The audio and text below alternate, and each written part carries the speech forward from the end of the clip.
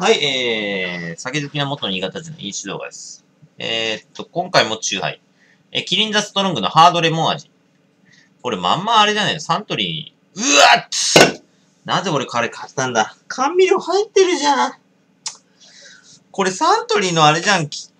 ゼロドライ、ドライゼロだっけ？ゼロドライだっけ？どっちだっけ？うわ、甘味料入ってるわ。最悪。俺なんで買ったんだろう、これ。えー、ハードレモンです。糖類ゼロ、プリン体ゼロ。あー、やる気ね。またこれ捨てるかもしれん。ああ。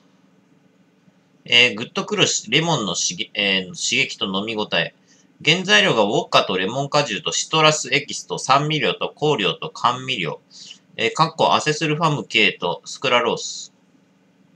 最悪。もうす、前回のこちら、あの、9割9分9厘ぐらい捨てたわ。最悪。これも絶対まずいぞ。これもう捨てる準備しとこう。これ捨てる準備しとこう。完璧。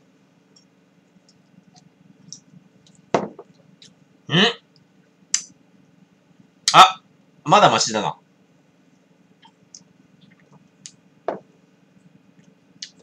あ、うーん、あ、あ、そんなに含まれてないな、これ、さては。これなら飲める。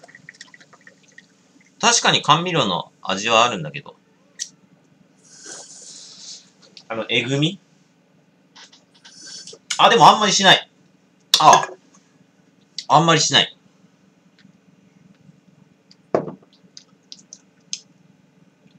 ああ、しかも結構スッキリしてる。これサントリーの、あの、レモン味が全然美味しいぞ。サントリーのストロングゼロドライ、ゼロゼロレモン味が美味しいぞ。うん。ただまずいのは間違いない。え、果汁が2%、2.0%入ってるみたいです。うー。でもやっぱまずいね。うん。やっぱまずいっすね。やっぱまずいっす。これわざわざこれ、そう。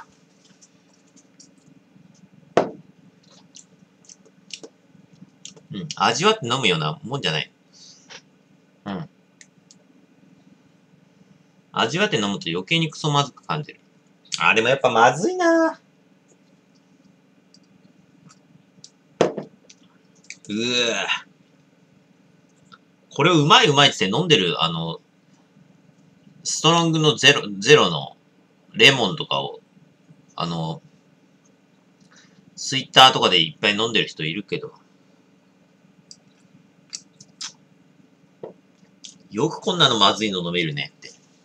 これ、あの、そう、あの、味わう必要ないね、これ。これもまずい。でもドライヨがまあ、まずくないね。えー、コク。甘み。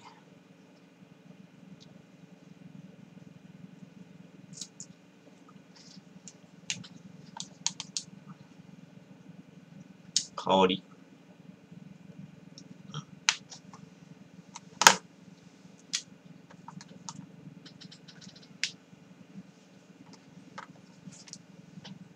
2332です。ご視聴ありがとうございました。